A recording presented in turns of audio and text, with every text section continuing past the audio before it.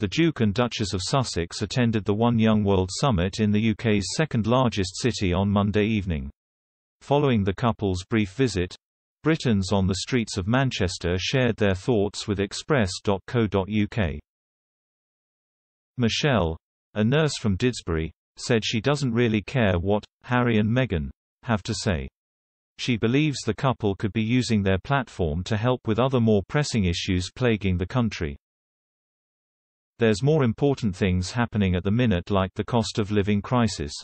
Maybe they could use their platforms to help with that, she added. The event gained some criticism as the young leaders were made to fork out for the tickets and travel to the event, with tickets reportedly costing more than £1,000 per day to attend. Ben Goldsborough, a trainee solicitor from Chorlton, said the ticket price is extortionate and excludes people from disadvantaged backgrounds.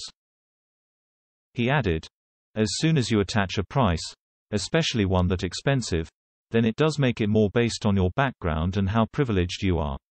I understand these things do cost money but I think that's quite extortionate. But not all those asked felt the same way, as Eva Black, a 31-year-old architect from Ancoats, said the price of the ticket, though quite expensive is good if it's going towards charity. However, she added that there will not be opinions and ideas from across the board if you exclude people that can't afford to pay that price. A total of 30% of young people are believed to have attended the summit on a scholarship.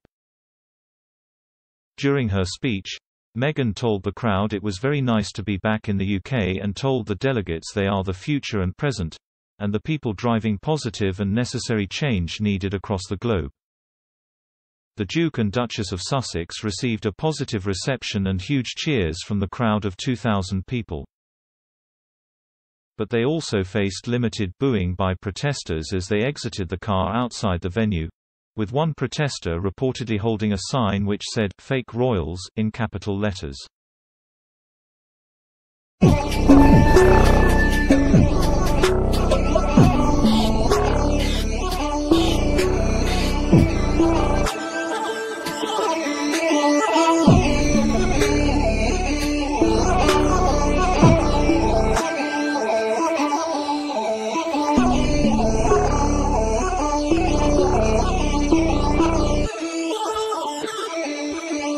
Thank